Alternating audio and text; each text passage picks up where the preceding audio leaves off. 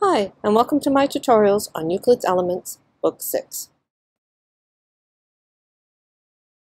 This video presentation is going to be on Proposition 13 of Book 6.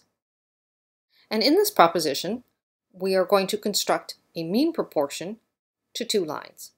What that means is we have two lines, A and B, and we're going to construct a third line, D, such that A to D is equal to D to B. So we're looking for a line D such that the ratio of A to D is equal to the ratio of D to B. This, by the way, is the definition of a mean proportional.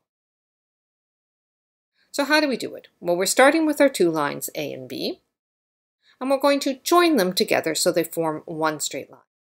So our two lines that we are now going to find the mean proportion on is AB and BC.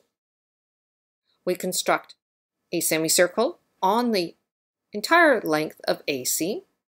How to do this is described in great detail in books 1. So we have a semicircle.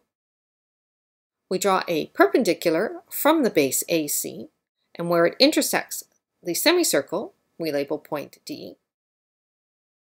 And now BD is our mean proportional to AB. In other words, AB to BD is equal to BD to BC. So what's our proof? First, let's join the lines AD and DC. The angle ADC is a right angle. Whenever you have a semicircle and you have two lines drawn in the semicircle like this, it is always a right angle. And that was shown in Book 3, Proposition 31.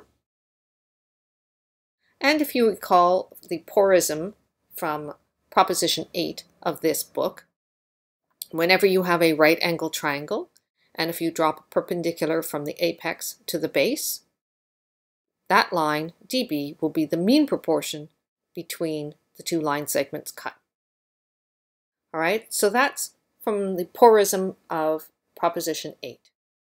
This is how you construct a line BD that's mean proportional to two lines AB and BC.